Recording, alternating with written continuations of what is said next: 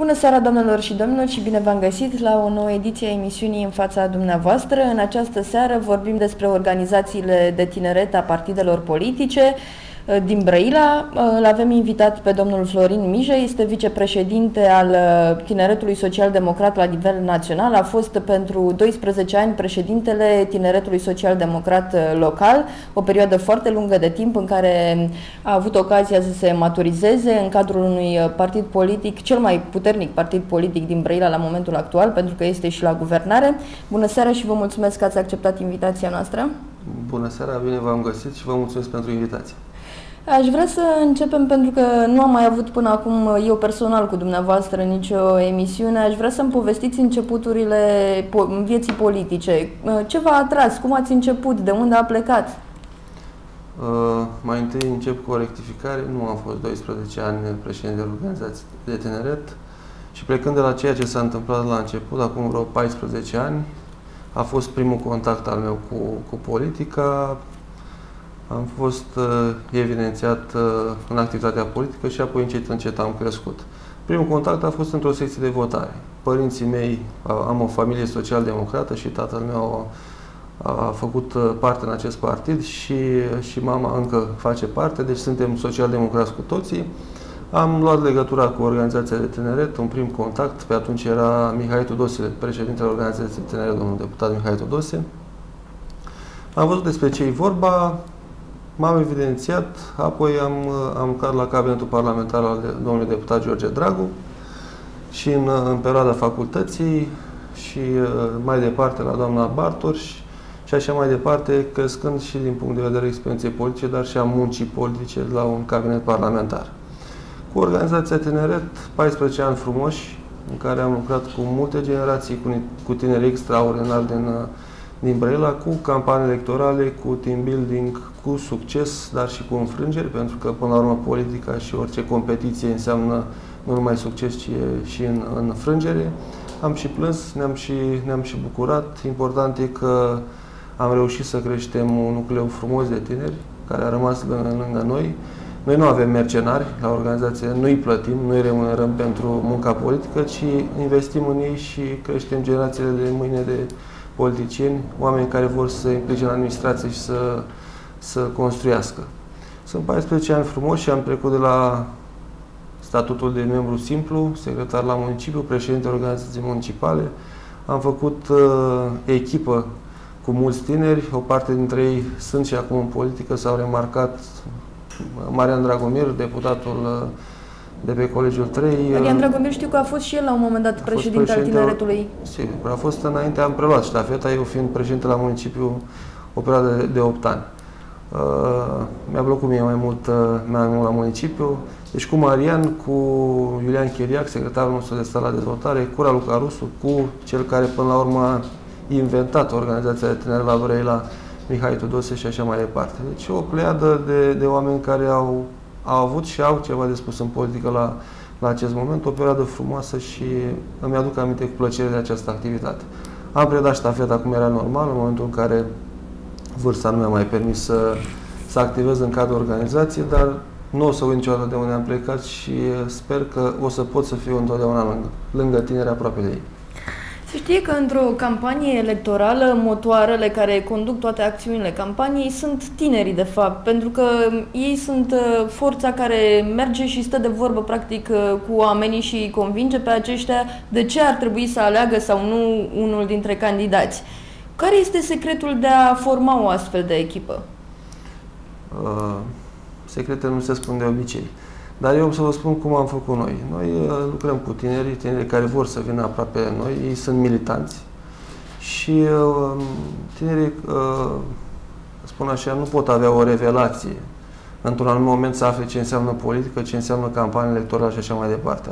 Aceste um, calități, aceste informații le, le preau în, uh, în momentul în care ajung în tabele politice.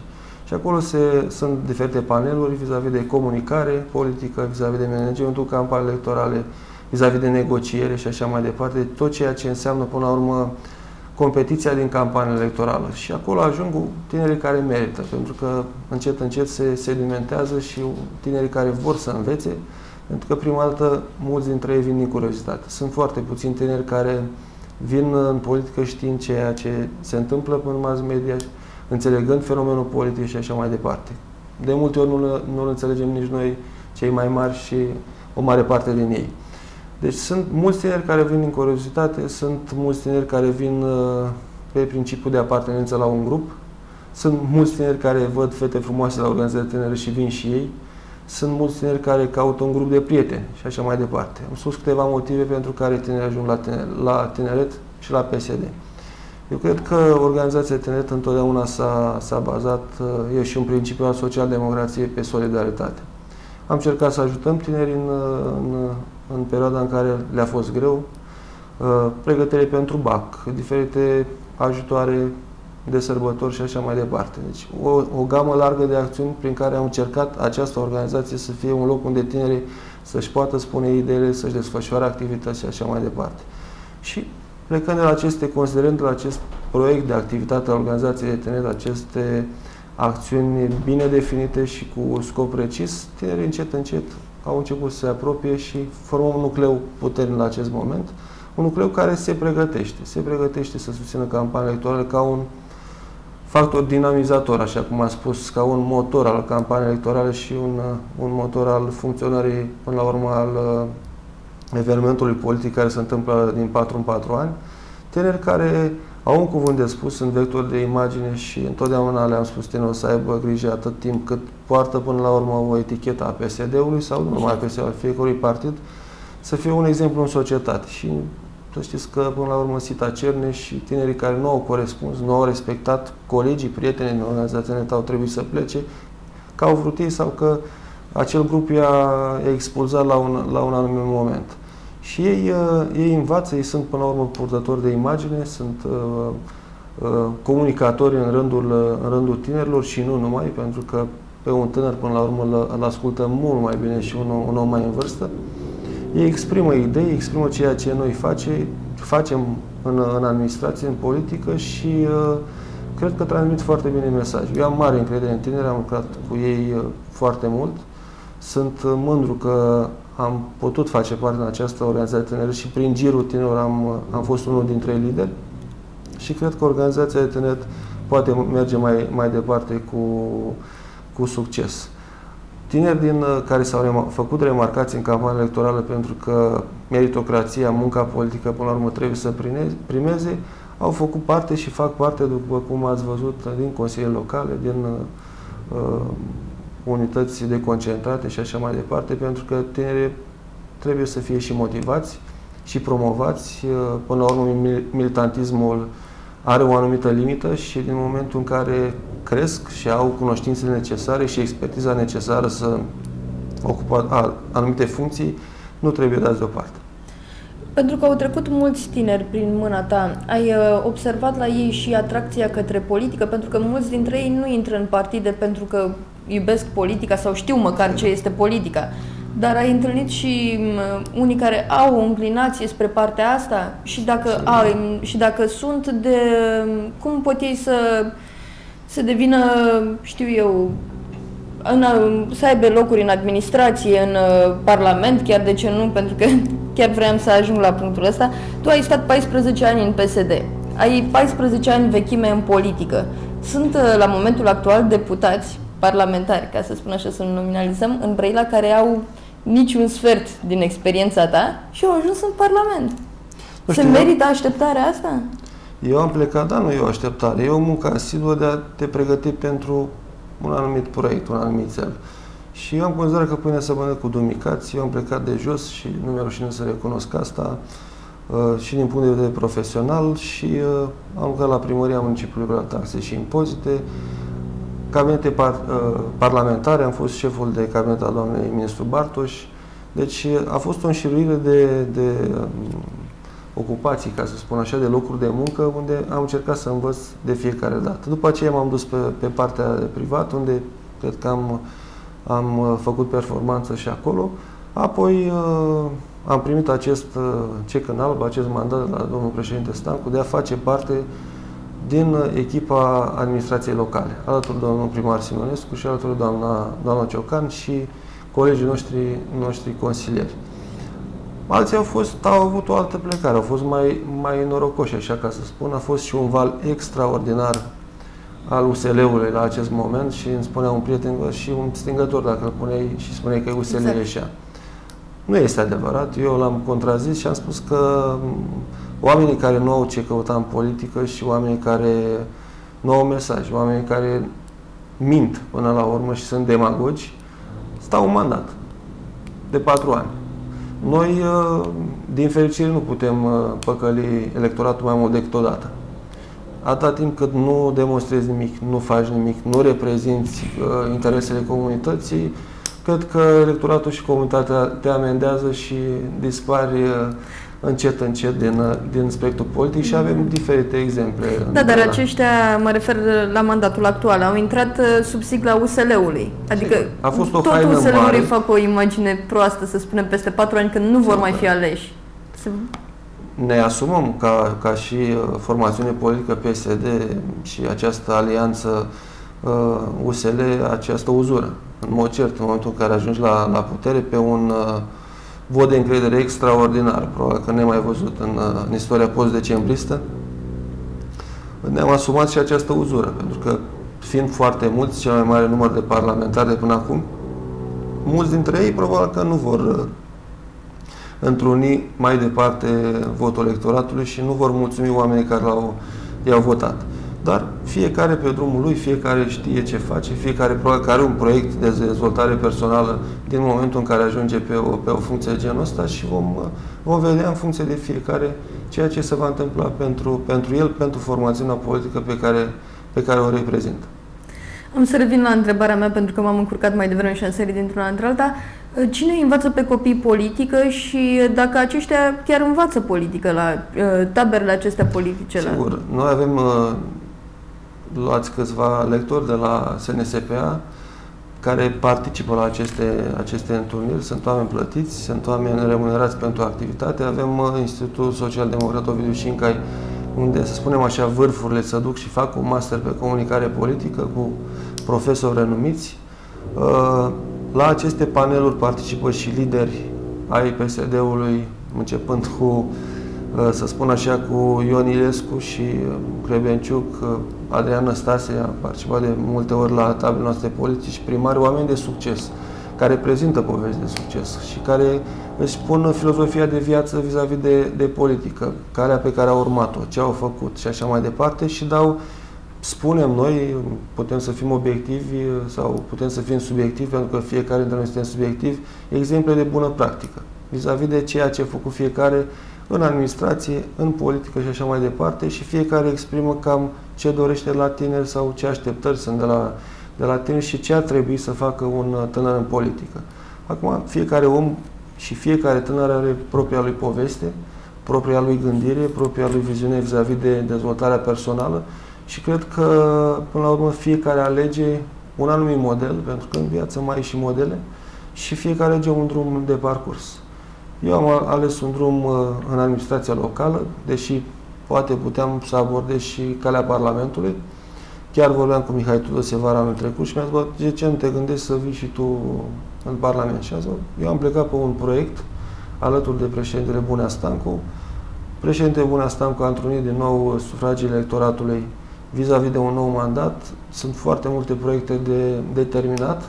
Am plecat împreună, în continuu și rămân la, la Consiliul Județean pentru că e de muncă. Aici am învățat. Uh, la fel, uh, administrația uh, nu înseamnă o revelație și înseamnă o anumită reziliență vis-a-vis -vis de, de muncă și de tot ceea ce se întâmplă în jurul administrației. Se învață pas cu pas, proiect cu proiect, cu suișuri, cu coborâșuri, cu probleme și trebuie să găsești soluții. Și cred că am găsit în, în echipa Consiliului Județean oameni care pot lucra și cu care îmi face plăcere să lucrez zi de zi și de aceea am și continuat la, la Consiliul Județean. Care este relația tinerilor cu seniorii din Partidul Social Democrat? Știu că la alegerile pe care le-ați avut, uh, Mihai Sturzu spunea că sunteți una din organizațiile fericite care au o relație bună, totuși au porțile deschise către seniori. Deci, uh, la Brăila există o singură organizație PSD. Uh, eu, de când sunt la, la tineret, întotdeauna relația tinerilor cu seniorii a fost bună și foarte bună. nu poate exista o organizație tineret fără sprijinul seniorilor, pentru că e vorba de, de logistică, de, de resurse financiare și așa mai departe. Politică fără bani nu se poate face. Și este adevărul. Și noi am, eu am cultivat o relație foarte bună întotdeauna pentru organizațiile tineret cu seniorii, pentru că uh, avem nevoie de experiența lor, nu numai de resursele, și avem nevoie și de un sfat, avem nevoie de o vorbă, avem nevoie de susținere și avem și nevoie de modele.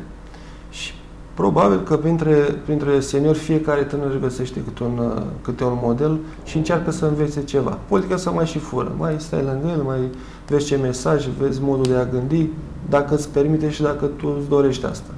Și cred că era impetuos necesar ca organizația să aibă o, o relație bună cu seniorii și a venit într-un mod natural.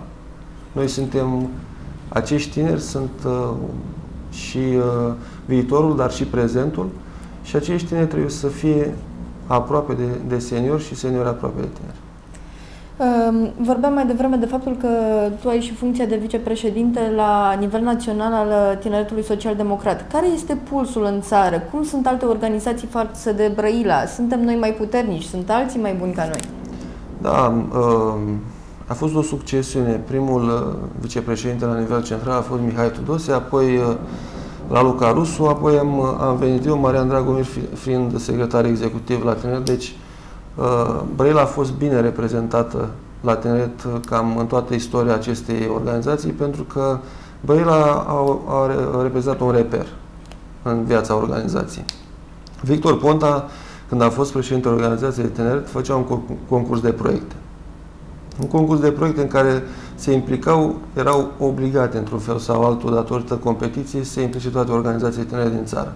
Și țin minte atunci că eram întotdeauna în primele opt, ca și rezultate, da. cu punctaj și așa mai departe și cred că vis-a-vis -vis de participarea noastră, atât din punct de vedere numeric, dar și calitativ, am rămas în primele opt organizații din țară și la, la acest moment sper să fie așa și în continuare. Iar vis-a-vis de, de relația cu celelalte organizații, vă dați seama că uh-huh. uh, fiind de 14 ani acolo și uh, colaborând și comunicând continuu cu ceilalți colegi la cele organizații, noi avem o relație foarte bună atât în, la nivel regional cu județele limitrofe, dar și la nivel național și cred că tinerii care vor veni și care sunt la, în fruntea organizației, Caranica și cu, cu Rândănică, Uh, vor duce mai departe ștafeta și Brela, mai ales că în luna octombrie predau și mandatul de vicepreședinte la nivel, uh, nivel național. Uh, în luna octombrie, un tânăr,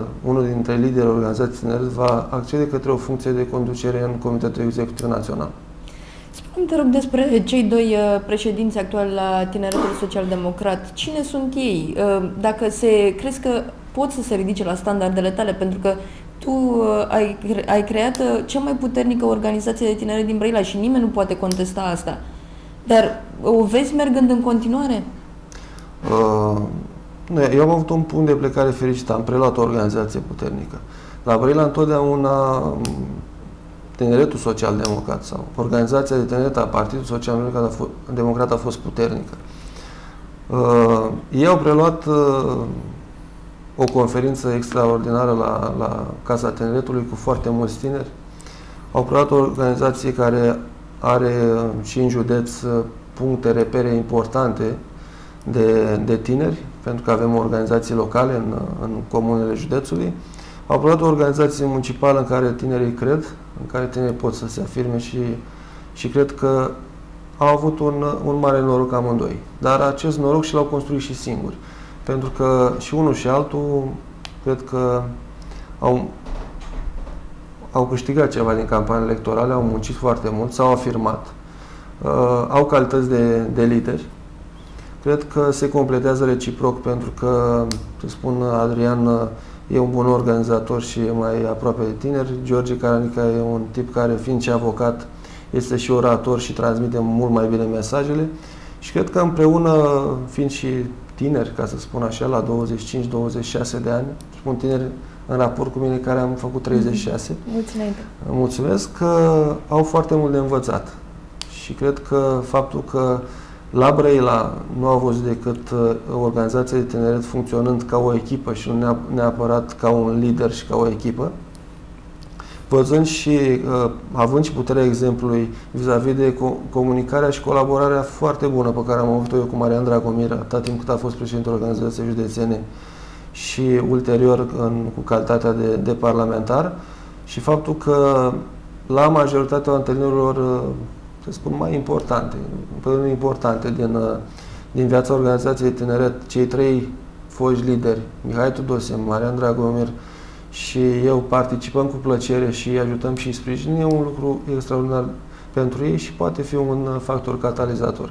Au tot viitorul în față, întotdeauna uleiul se ridică la suprafață, eu le-am spus asta și lui George și lui, uh, lui Adrian, cred că uh, au premisele unei dezvoltări a organizației și a unei dezvoltări personale și uh, trebuie să au primit un mandat în acest moment și de la tineri, dar au și girul seniorilor, din care fac parte pentru că sunt un președinte pensionar la tineret și un tânăr senior. Și uh, cred că cred că organizația de tineret e pe mâini bune și uh, vor face treaba la PSD. Spune, conform uh, evoluției politice, care este următorul pas pentru tine? Următorul pas a fost uh, funcția de vicepreședinte al organizației județene și cred că a fost uh, un lucru extraordinar. Uh, M-a onorat acest lucru, încrederea seniorilor și a președintelui Bune cu în, în mine. Uh, acum am colegiul 5 al lui Cristi Rizia și încerc să țin o legătură corectă și continuă cu partea de, de, de județ, cu domnii primari, cu care am o relație foarte bună și pe care o să o cultiv continuu. Am și norocul că lucrând în administrație ne lovim unul de altul și încerc să-i ajut, să-i îndrum cât pot și eu să mergem la domnul președinte și să încercăm să rezolvăm problemele din județ. Știu și ce se întâmplă cu tinerii acolo și din multe puncte de vedere nu sunt mulțumit pentru că le lipsește un orizont de dezvoltare la acest moment, dar uh, politic uh, la acest moment, la ceea ce se întâmplă astăzi în PSD și la liderii pe care Partidul Social Democrat afișează la Brăila, pentru mine uh, funcția de vicepreședinte este un lucru bun. Știi cum este la noi în presă, noi ne mai dăm cu părerea, mai uh, intuim unele lucruri. Uh, la momentul actual sunt două premize asupra ta. Una este cea de parlamentar chiar în Colegiul 5, pentru că spuneai că te ocupi de el, iar uh, cealaltă este de președinte al Consiliului Județean. În care dintre ele te vezi mai bine încadrat? Nu știu, vom vedea acum cei care au întamat anumite direcții vis-a-vis -vis de cariera, cariera lor, dezvoltarea lor ulterioară au devenit ținte. Știți cum se spune? Că fiecare păzește pe celălalt. Uh, vom vedea, eu sunt pe un, uh, pe un drum, sunt la al doilea mandat de vicepreședinte la, în acest moment, continui proiectele la care ne-am, uh, pe care le-am promis brăilenilor. Sunt proiecte importante pe două axe, atât agricultură cât și, și turism. Nu am uitat nici drumurile din județ, nu am, nu am uitat nici sănătatea și cred că aceste proiecte la acest moment nu umplu tot timpul. Vom vedea ce se va întâmpla. Îmi doresc o dezvoltare în administrație, în administrația locală sau în administrația centrală și nu neapărat Parlamentul României, pentru că eu simt că sunt un om uh, mai aplicat, un om de execuție. Am stat uh, și eu sper să termin mandatul cu brio de vicepreședinte. O să fie 8 ani de experiență, 8 ani în care am încercat să învăț cât mai multe și cred că o continuare vine la nivelul administrației locale sau la nivelul administrației centrale, vom vedea. Vorbeai în uh, cadrul altei emisiuni televizate despre faptul că hmm, PNL-ul este condus acum de un tânăr. Cătălin Boboc este de seamă cu tine, dacă nu mă înșel, sau sunteți de vârstă apropiată. Da. Și totuși a acceptat să preia frâile unui partid politic destul de mare. Este al doilea partid politic din alianță. Dar uh, spunem pe cine ai vedea la conducerea Partidului Social Democrat, pentru că la un moment dat o să se schimbe și actuala conducere. Crezi că la momentul actual, la momentul la care vorbim, există un om pregătit care să poată conduce organizația PSD Brăila? Deci, vis-a-vis de, de Cătălin Boboc, din punctul meu de vedere, puterea se câștigă, nu se acceptă. Și cred că el și-a făcut treaba acolo, a fost susținut, Uh, sunt oameni care stau în spatele lui și l-au susținut să ajungă pe această funcție, cum e Vasile Varga. Nu trebuie să uităm de, de cel care a condus PNL o mare perioadă de timp din umbră, pentru că asta este adevărul. Cătălin a primit uh, girul seniorilor, a primit această funcție de președinte o face cu succes, spun eu, ce, ce se vede de afară. La noi e puțin altfel. Noi avem uh, doi lideri puternici, președintele Stancu și domnul primar Gabriel Aure Simonescu, e președintele Consiliului Județean și primarul municipiului Brăila, deci oameni care până la urmă pe un tandem câștigător sunt un exemplu de, de bune practici în politică și un exemplu de succes până la urmă cu controversele care sunt la acest moment și cu oamenii care i-au votat, nu i-au votat, sunt de acord cu ceea ce fac sau nu, uh, au uh, întrunit majoritatea sufragiilor electorale și cred că la acest moment uh, nu se pune problema la Brăila. Dar, așa cum ai spus, uh, lucrurile trebuie să intre într-o succesiune normală, uh, naturală, spun eu, și atunci, uh, dintr-o pleiadă de tineri pe care Partidul Social Democrat i-a, i-a pregătit și care cresc în această perioadă, va trebui unul dintre ei să, să-și asume această funcție, această mare responsabilitate de a prelua funcția de președinte a cele mai importante formațiuni politice în Brăila. Mai ales de la, plecând de la faptul că uh, cei doi, primarul și uh, președintele Consiliului Județean și-a făcut treaba, avem o organizație puternică, avem cei mai, cel mai mare număr de primari din județ și cred că e o mare responsabilitate, o mare onoare și uh, va fi o, o luptă, o, o muncă foarte, foarte asiduă. Ba chiar am văzut în uh, campania precedentă la parlamentare primari din județ care au trecut din uh, tabăra adversă la USL. Au ales în plină campanie această mișcare. A fost, eu am spus, a fost un val extraordinar uh, de așteptare și pe fondul uzurii foarte mari al PDL-ului. Ați văzut că au încercat și la locale rebranduirea aceea cu independenți, cu verde, cu din portocaliu, după aia pe albastru, mai aveau puțin și la de culorile curcubeului. Și cred că USL-ul a folosit acest lucru, această alianță câștigătoare. Faptul că o formațiune de stânga a reușit să, să facă o alianță cu o formațiune de dreapta e un lucru extraordinar din punctul meu de vedere, pentru că doctrinar nu se, nu se întâlnesc, sunt două linii paralele. Dar uh, pe un fond de maturitate politică, atât al lui Victor Ponta cât și al lui Crin Antonescu, am reușit și la Brăila cu Cătălin Bobou și cu Gheorghe Buneastan, cu cei doi lideri al cele două formațiuni, și cu PC-ul și cu ulterior a venit și, și UNPR-ul, aproape de noi, am reușit să facem o construcție politică, politică importantă care să, să asigure liniștea construcției atât pentru Brăila cât și în, și în România. Pentru că tot vorbim de USL, spunem cum funcționează alianța la Brăila. Și că funcționează bine, avem liniște, nu ne, nu ne certăm. Eu colaborez foarte bine cu, cu colegul meu, cu Nikita. Am zis că doamna Ciocan are colaborare și domnul primar cu, cu domnul Danailă. Deci nu sunt probleme și cred că faptul că e liniște în Brăila și avem aceeași culoare, ca să spun așa, deși suntem din mai multe formațiuni politice, avem aceleași proiecte, comune începe să, să se și vadă.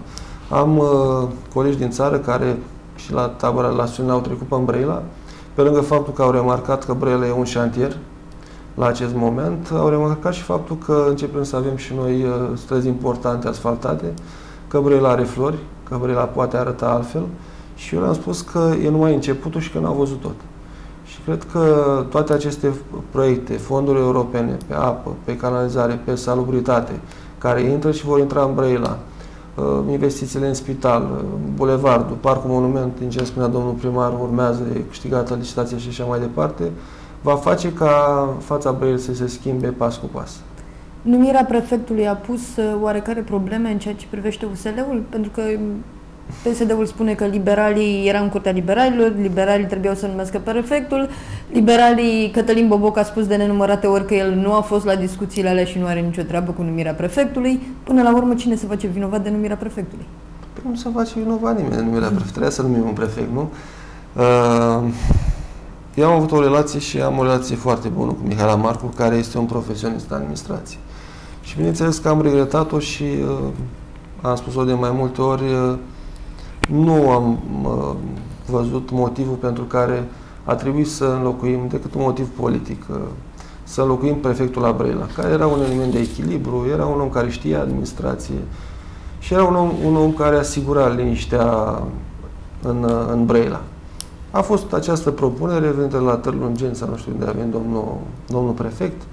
Eu n-am nicio... Am înțeles că nu este singurul caz. Chiar am văzut prin presa națională trei cazuri asemănătoare de prefecții numiți în urma acestor posturi de polițiști comunitari la Trălungeni. Deci eu am PPDD-ul are un obicei de a face acest... Uh, Sigur, pe care ierarhic eu am un uh, raport de colaborare foarte bun cu domnul suprefect, cu Cătălin Grosu, colaborăm, vorbim aproape zilnic, uh, nu am nicio problemă. La domnul Obreja am fost la investire pentru că m-a obligat funcția să fiu acolo în sală și m-a și mandatat domnul președinte să, să fiu prezent la investirea domnului prefect. I-am urat succes, n-am avut nicio, nicio problemă, a fost o discuție politică pe o ambiție politică a PC-ului. Așa s-a dorit, uh, probabil că a fost o negociere la, la București uh, între PC și, și PSD, uneori politica și strică, din păcate, și eu vă spun, până la acest moment, noi nu am avut nicio problemă cu prefectura, mai ales că încercăm o colaborare acum vis-a-vis de, de clădire administrativă.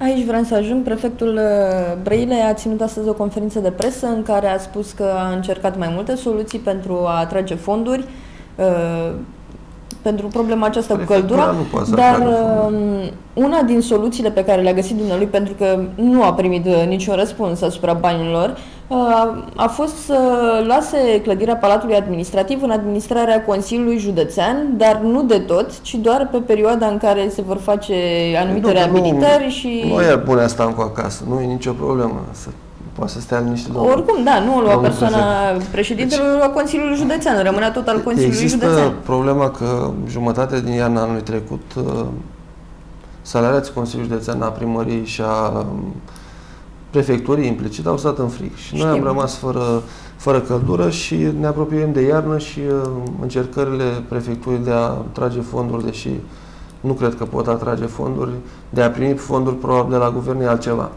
Uh, s-au soldat cu, cu rezultat uh, zero. Uh, la o inițiativă noastră am discutat de mai multe ori cu domnul președinte, ori să ne mutăm, ori să investim în, în acea clădire ca să putem să stăm în niște condiții uh, normale de lucru, pentru că în frig nu poți funcționa. Noi avem mai multe alternative, să ne mutăm la Casa Tineretului, să ne mutăm pe Buzăului 3A. Deci, uh, din punct de vedere al patrimoniului, Consiliul Județean stă foarte bine la capitolul clădirii. Dar uh, una peste alta am, uh, s-a decis, domnul președinte a luat decizia să uh, vedem, să dimensionăm o centrală termică, astfel încât și să umblăm un pic și la învelopare mai târziu, la ferestre și așa mai departe, pentru că și acelea bate vântul până, până clădire, ca să spun așa.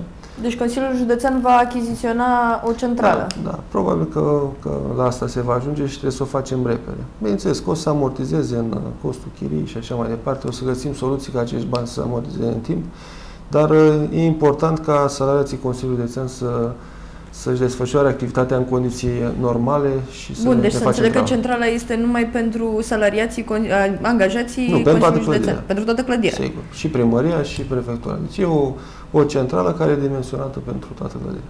Am înțeles.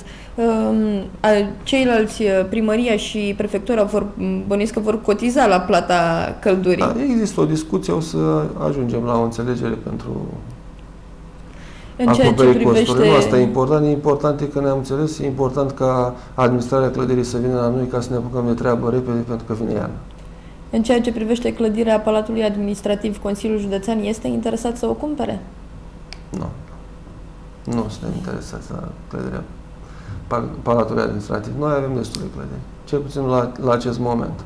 Știu. Noi am fost interesați să cumpărăm uh, spitalul de pneumofiziologie, încă nu am găsit uh, înțelegere la proprietari și încercăm să găsim soluții alternative ca uh, spitalul de pneumofiziologie să se mute la un moment dat într-un spațiu nou, conform cu cerințele europene.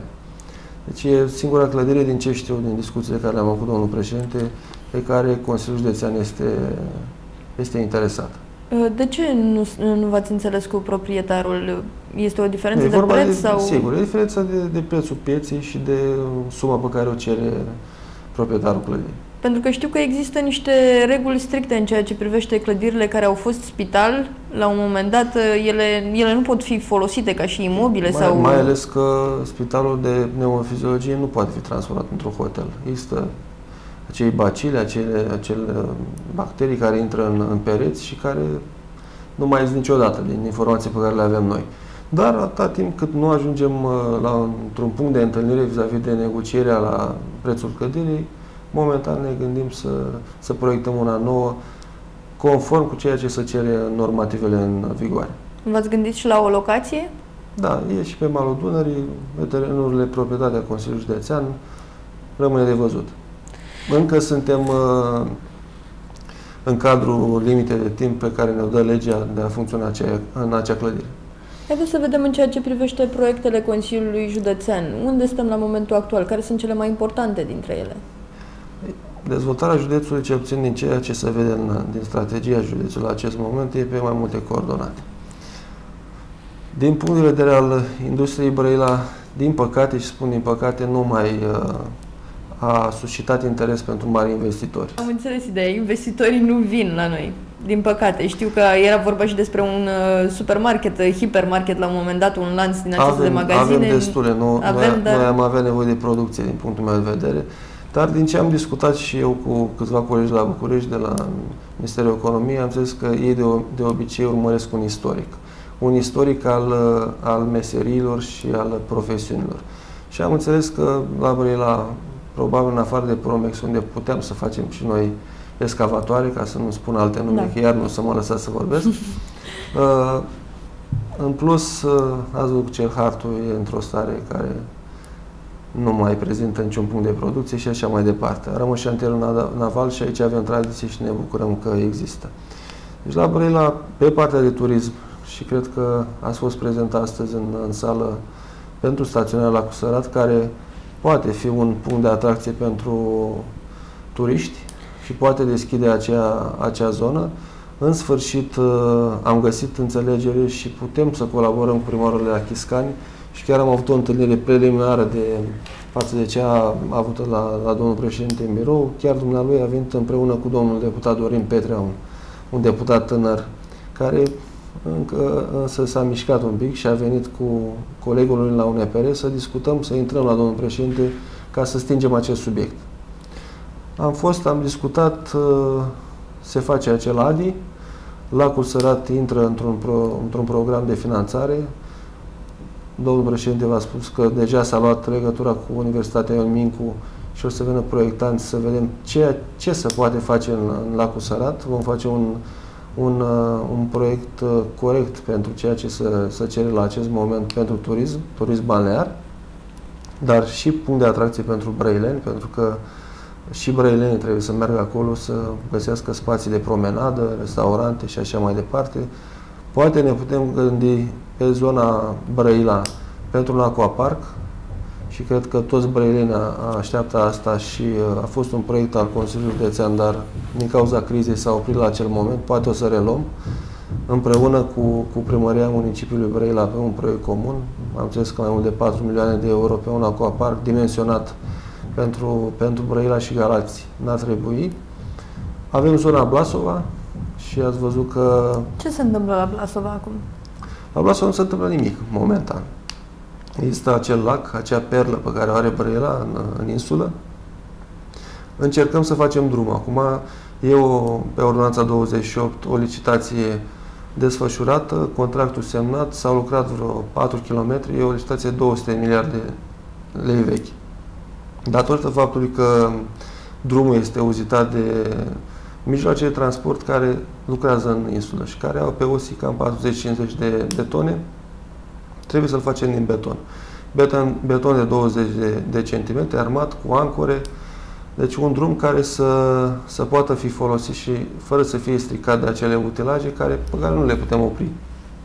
Deci cel mai greu, cel mai rău lucru pentru Blaso era că nu, nu exista un drum. Drumul sperăm ca până la sfârșitul anului viitor să-l să, -l, terminăm. La Blasova există acea tabără pentru copii exact care este la Direcția Județeană de Tineret și Sport la acest moment. Am luat legătura într-o întâlnire cu domnul ministru Bănicioiu uh, și domnul președinte a vorbit de mai multe ori cu dumnealui. Uh, sperăm că acea tabără să ne dea prin hotărâre de guvern la Consiliul Județean, la administrarea Consiliului Județean, ca să putem să investim în ea, să o aducem la un nivel în care tinerii să poată să stea în condiții salubre acolo, Ați fost și cred este că... păcat, da, este cred un că știți dezastru ce, ce este ce acolo. dezastru e acolo. Da. Am, legăt, am luat legătura cu domnul director Puiu de la Direcția Județeană Antrenări și Sport, am tot concursul dumnealui ca să facem rapid din tabularea și cadastru, ca apoi să intre pe hotărâre de guvern și să poată să vină la Consiliul Județean să tabără ca să ne putem uh, ocupa de ea. Deci pe aceste coordonate cred că împreună cu turismul ecumenic, ceea ce ține de Biserica Greacă și are o durere a Consiliului Județean faptul că nu ne putem uh, ocupa să facem împreună cu Primăria Brăila să ne ocupăm de acest uh, edificiu care aduce uh, mulți turiști în Brăila, fiind cea mai mare biserică greacă din, uh, din Europa, uh, excluzând spațiul Greciei. Uh, avem și o comunitate importantă de greci în, în Brăila și cred că turismul poate fi un, uh, un uh, lucru important pentru Brăila. Este deja în condițiile în care se află acum stațiunea la Cusărat. Chiar am văzut uh, um, pe parcursul verii foarte multe mașini cu numere din alte județe. Deci, um, practic, există turism la Brăila, în la Cusărat, așa cum este el acum. Sigur. Vă imaginați cum ar fi Cu atât la mai mult, alte standarde. Sigur, cu atât, atât mai mult cu cât stațiunea arată, ar arăta într-un fel, pentru că acum arată ca după bombardament. Uh, trebuie să facem apel și la partenerii privați, oameni care au investit în lacul Sărat și care au făcut tot felul de garduri, gărdulețe în gră- grădiri. Trebuie să facem apel și la cei care au baze hoteliere în lacul Sărat ca acele baze să arate într-un anumit fel, și interior și exterior și uh, atâta timp cât uh, vom avea și calitate în lacul Sărat, în mod cert, uh, numărul de turiști, oameni care se tratează în lacul Sărat și care vin la promenadă în lacul Sărat și poate o să vină și la alte puncte de interes, va crește exponențial. Sunt convinsă că o să reușiți, mai ales că știu că unele din hoteluri uh, aparțin chiar unor membri din uh, Partidul Social Democrat, deci bănuiesc că va exista o comunicare acolo. Trebuie La să un moment existe dat. și trebuie să ia măsuri pentru că uh, după aceea trecem, va trebui administrația lacului Sărat să treacă la amenzi. Sigur. Despre infrastructura rutieră din județ, aș vrea să vorbim puțin în ce stadiu sunt uh, drumurile acum. Am văzut și foarte multe refăcute, chiar m-am mirat, dar uh, mai sunt și multe lacune. Deci noi avem o rețea de drumuri județene de 604 km la acest moment. Uh, Sumele alocate pentru reabilitarea drumurilor județene sunt întotdeauna insuficiente. Noi am avut o, o portanță cal, calculată pentru drumurile județene, portanță pe care am moștenit-o, vorbim de moșteniri înainte 89, la o anumită greutate pe osie. Uh, traficul rutier a crescut exponențial după 89 este cel mai important la, la această oră. Greutatea pe osie a crescut la fel, exponențial 40-50 de tone încărcătură. Și cred că ăsta este și un motiv uh, pentru care structura drumurilor pleacă. Noi am avut diferite faianțări, ca așa le, le spun uh, cei care sunt de specialitate a drumurilor, faptul că pleacă uh, structura și începe ruperea drumului. Uh, am intervenit și pe fonduri europene, dar și pe finanțarea Consiliului Județean și pe, finanțarea, pe banii veniți de la guvern pentru reabilitarea, probabil că în mare cam 200 de km de drum sunt reabilitați uh, în raport cu cerințele de acum. Restul uh, drumurilor județene încercăm să le abordăm atunci când se strică, să le atacăm pe acele covorașe asfaltice, acele plombări în, uh, în limbajul uh, uzual, și anul acesta am avut cam 100 de miliarde pe drumuri pe, pe plombări. Plombăm an de an, dar uh, cea mai mare problemă a, a traficului, să spun așa, e faptul că uh, noi dacă deplasăm cântarul, pentru că avem un cântar care până la urmă măsoară uh, greutatea pe osie, uh, amenda nu vine la Brăila, amenda merge la, în județul în, ca- în care este proveniența mașinii. Pe drumul mării, mult vestitul drumul mării, pe care se circulă acum cam, cred că 100 de tiruri pe zi, ducem uh, cântarul, aceeași poveste. Am încercat, în momentul în care am început construcția și proiectul drumul mării, să implementăm un proiect cu senzori de greutate în asfalt, corelați la camere video. N-am putut să cumpărăm pentru că uh, fundamentarea hotărârii de, de Consiliu pentru alocarea banilor se baza pe o întoarcerea banilor prin amenzi. Faptul că amenziile nu intră la Brăila noi nu aveam niciun fel de amortizare, băgam banii și așa mai departe. Deci am transmis-o parlamentarilor noștri mai multe Asta ori. vreau să spun, aveți sper, șapte parlamentari, se poate sigur, face o modificare sper, legislativă. Sper să fie o modificare legislativă care să apere drumurile nu numai la noi, pentru că ați văzut că România suferă Sigur, de infrastructură în toate județele și am fost în multe județe și n-am spus-o cu bucurie arată mai rău decât Brăila. Dar avem în continuare probleme, sunt oameni nemulțumiți, recunoaștem că sunt, mai sunt probleme pe drumurile județene. În continuare suntem în, în faza de lucru pe toate drumurile județene pentru a acoperi aceste, aceste uh, găuri în, în asfalt și o să continuăm până la probabil 1 octombrie. Ce s-a întâmplat cu Asociația Intercomunitară Brăila Galați Tulcea? Am văzut că nici măcar când le-am dat proiectele pe tavă, ei tot nu au acceptat uh, această asociere. Tulcea este mai deschisă. Probabil că au, uh, au și mai multă nevoie de noi, să zic așa, noi suntem puțin mai dezvoltați decât ei, dar uh, Galațul nu vrea de nicio culoare. Se pare că orgoliul între Vila și Galați l-au încetat și acest proiect comun mid-regionalizare, care cred că pentru, cel puțin pentru anul ăsta e un subiect închis, doar dacă va fi vreo minune anul acesta să, să treacă și Constituția și legea regionalizării și așa mai departe, deși mă, nu cred. Uh, iată că în continuare între Brăila și Galați uh, nu există încă înțelegere, comunicare și uh, acest lucru nu poate să facă decât rău zonei. A fost o, un proiect bun, regiunea Dunărea de Jos, Brăila Galați Tulcea, S-a oprit la început de drum, au fost câteva întâlniri, dar care nu au avut niciun fel de rezultat. Exact la asta mă gândesc cu regionalizare sau fără regionalizare, această asociere avea mai multe șanse de a primi uh, fonduri uh, pe proiecte, de a le fi acceptate proiectele, pentru că erau mai multe județe la un loc, erau practic o regiune a noastră, făcută sigur, de noi, sigur, chiar dacă nu...